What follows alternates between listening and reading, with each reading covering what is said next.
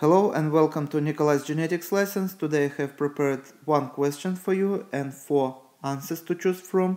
As usual, I recommend you to stop video here, read the question, choose your correct answer. When you would be ready, you can run video again and you can compare your answer with my answer and explanation.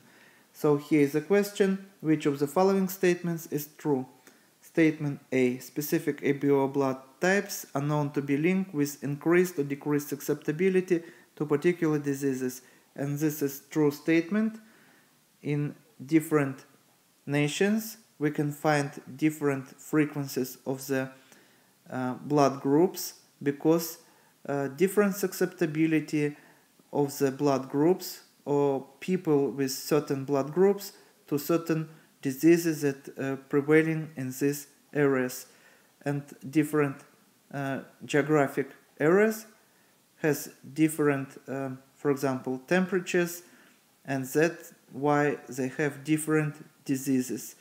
So this also affect uh, occurrence or frequency of the blood groups in certain areas.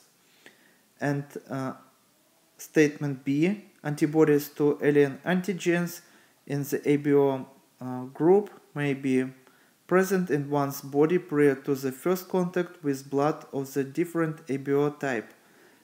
And here is example.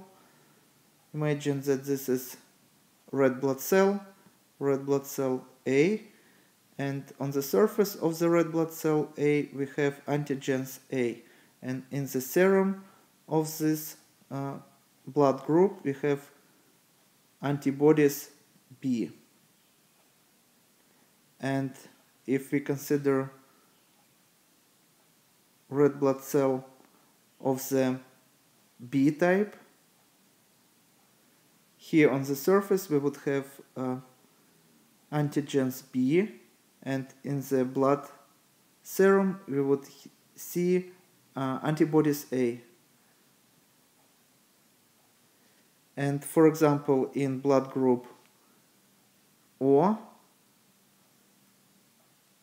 we can find antigens O, and this is um, surface protein, and in the serum we would find both antibodies A and B. So as you see, um, our blood depending on the type, already have antibodies to other um, antigens of the different blood group.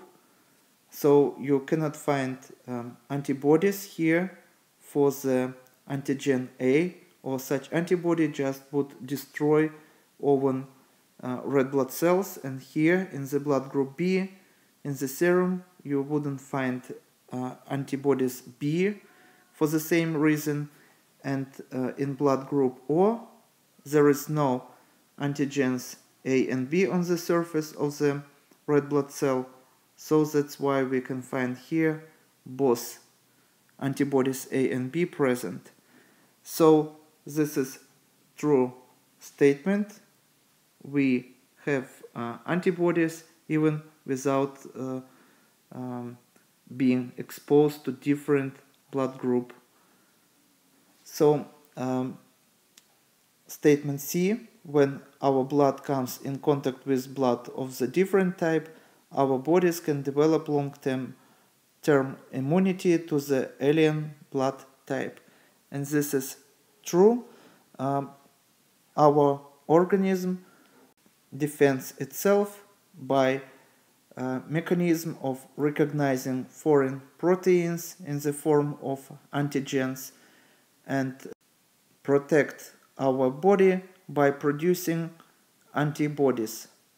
So uh, when we first time exposed to certain foreign proteins, we develop long time memory and when we second time exposed to the same foreign uh, antigens, our body react faster and more efficient. And this is uh, the main reason for vaccination.